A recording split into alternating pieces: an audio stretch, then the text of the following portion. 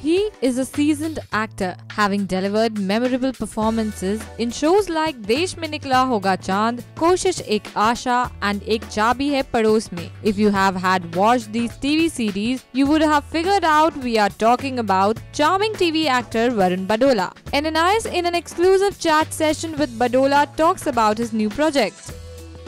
We are not uh, going to attempt, um, you know, entering a territory which we shouldn't. Uh, let's face it that we are not a news channel, we are an entertainment channel. And uh, this show primarily is uh, made for entertainment.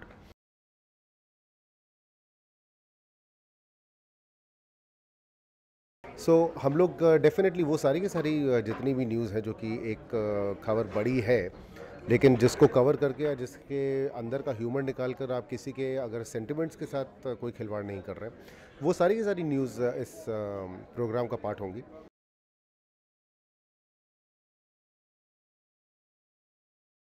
we will try and avoid all news जो कि जिनके ऊपर कुछ भी comment करके हम जो है सेंटिमेंट्स uh, का ख्याल ना रख पाए लोगों के Powered by NNIS.